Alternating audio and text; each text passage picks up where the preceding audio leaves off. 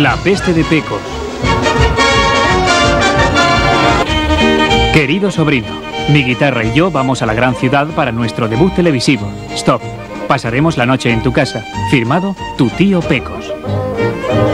¿Cómo estás, sobrino? Yo bien. Tengo que ensayar mi canción. ¿Tienes una cuerda de guitarra, sobrino? Ah, veo una. Gracias, socio. No puedo cantar sin una cuerda.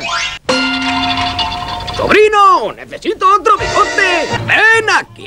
¡Menino, menino, menino, menino! ¡Mini, mini, mini, mini, mini, menino! ¡No intentes detenerme, sobrino! ¡Ven aquí, menino, menino! ¡Oh, aquí estás!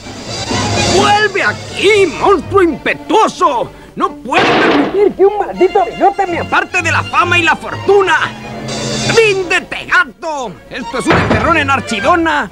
¡Quieto! No te dolerá mucho si te doy un tirón.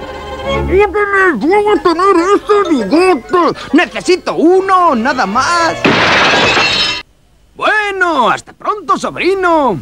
No te pierdas mi actuación en televisión ma ma ma ma ma ma mañana por la noche. Y ahora, señoras y señores, les presentamos por primera vez una nueva estrella de la canción, el tío Peco.